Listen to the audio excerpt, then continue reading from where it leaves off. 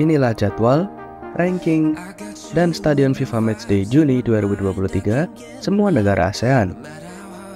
Yang pertama adalah sang langganan juara Piala AFF Thailand.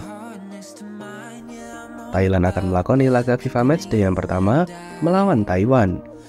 Taiwan memiliki peringkat 156 dunia, cukup jauh di bawah Thailand. Laga ini akan digelar di Stadion Nasional Taiwan, Kaohsiung Stadium. Kemudian pada FIFA Matchday kedua, Thailand akan menghadapi Hong Kong yang memiliki peringkat 147 FIFA. Laga ini akan dilaksanakan di Stadion Hong Kong.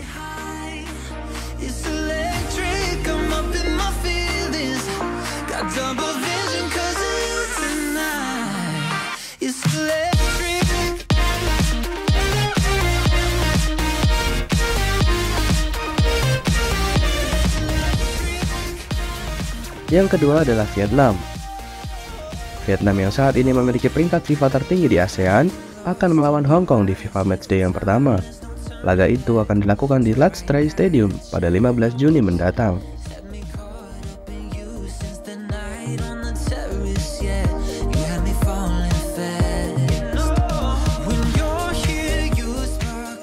Kemudian pada 20 Juni, Vietnam akan menghadapi lawan yang cukup tangguh, yaitu Syria di Stadion Tien Vietnam.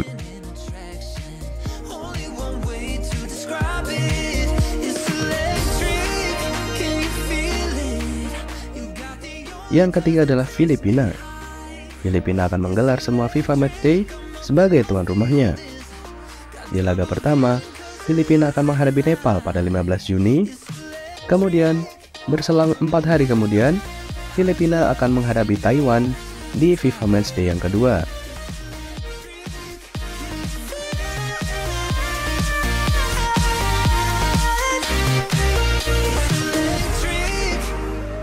Yang keempat, Malaysia. Malaysia akan melawan negara Kepulauan Solomon yang berperingkat FIFA 4 tingkat di atasnya. Laga ini akan digelar di Stadion Mizan Zainal Abidin di Terengganu.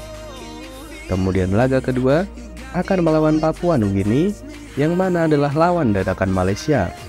Karena Yaman yang sudah dijadwalkan bertanding membatalkan laga baru-baru ini.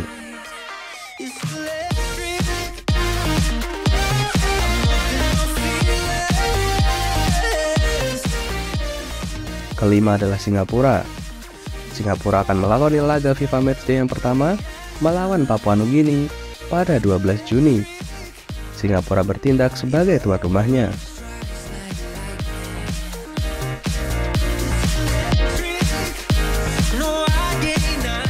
Kemudian di laga FIFA Matchday kedua, Singapura akan melawan tim yang sedikit lebih kuat, yaitu negara Kepulauan Solomon pada 18 Juni.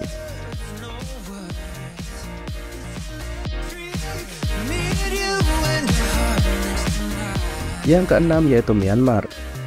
Myanmar di FIFA Matchday yang pertama sedikit berani dengan melawan China, negara berperingkat 81 FIFA. Laga FIFA Matchday yang pertama akan dilaksanakan di Dalian Sports Center Stadium di China. Kemudian di laga FIFA Matchday kedua, Myanmar akan melawan Macau di Tuna Stadium, Yangon, Myanmar.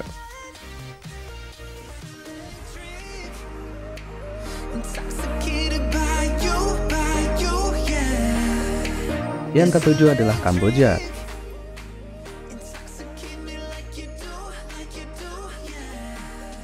Kamboja akan melawan Bangladesh, negara yang berperingkat lebih rendah dari Kamboja. Laga ini akan dilaksanakan di Moradok Teko Stadium Phnom Penh, Kamboja.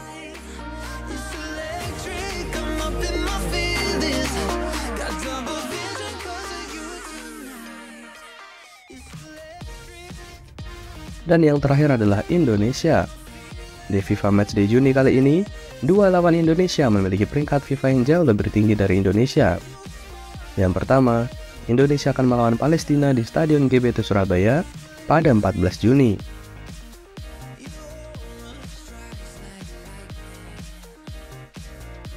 Dan laga yang kedua adalah laga yang paling ditunggu-tunggu. Indonesia akan melawan tim peringkat satu dunia yaitu Argentina. Laga melawan Argentina ini akan dilaksanakan di Stadion Utama Gelora Bung Karno pada 19 Juni mendatang.